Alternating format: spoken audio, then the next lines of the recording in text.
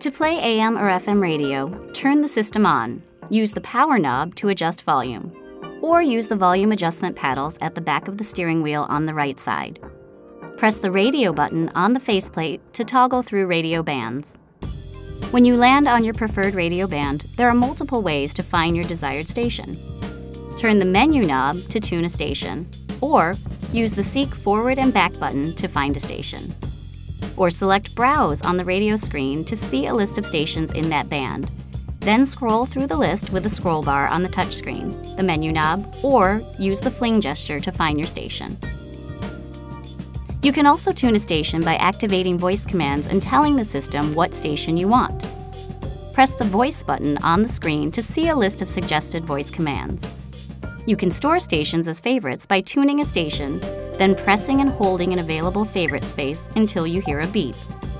There are 60 spaces available for favorites.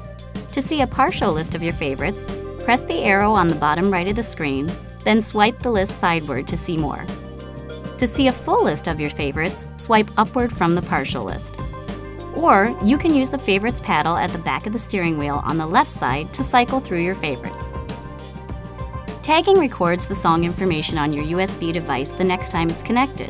And when you sync the device with iTunes, it asks if you want to purchase the song.